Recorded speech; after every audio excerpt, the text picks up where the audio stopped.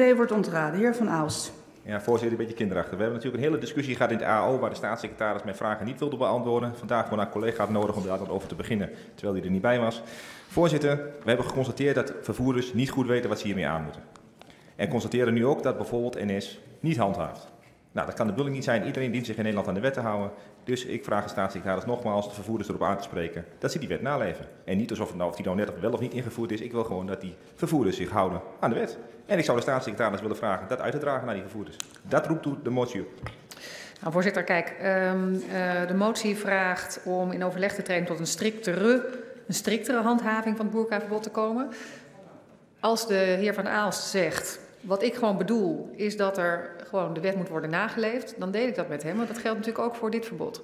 Ook deze wet moet gewoon worden nageleefd. Maar daar is de wet al voor. Uh, als de heer Van Aalst nou motie indient van uh, verzoekt de regering om in overleg te treden met de OV-bedrijven over het naleven van het verbod.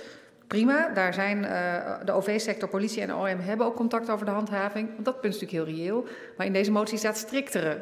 En we gaan het niet strenger maken dan dat de wet is, maar de wet zelf moet gewoon worden nageleefd. Dus als de heer Van Aals zegt, ik wil graag dat de staatssecretaris in overleg gaat met de OV-bedrijven over de handhaving van het boerkaverbod, graag bereid om dat te doen.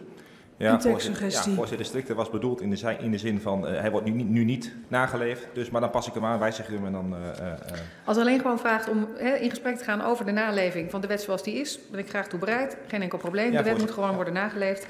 maar daar zijn OV-sector, politie en OM ook over met elkaar in contact. voorzitter, dat.